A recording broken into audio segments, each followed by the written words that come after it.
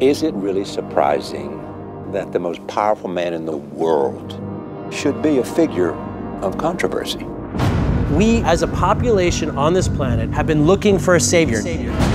We're talking about a being whose very existence They are not telling us the truth. challenges our own sense of priority in the universe.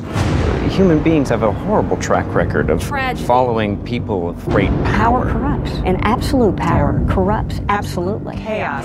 Maybe he's just a guy trying to do the right We thing. know better now, don't we? Devils don't come from hell beneath us. They brought their warrior. No, they come from the sky. The world has been so caught up with what he can do that no one has asked what he should do.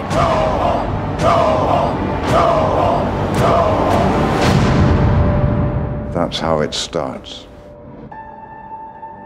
The fever, the rage, the feeling of powerlessness that turns good men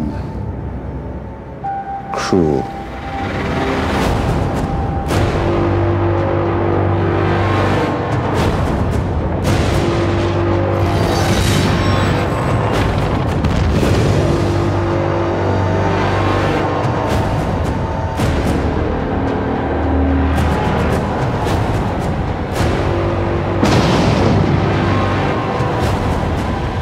Tell me,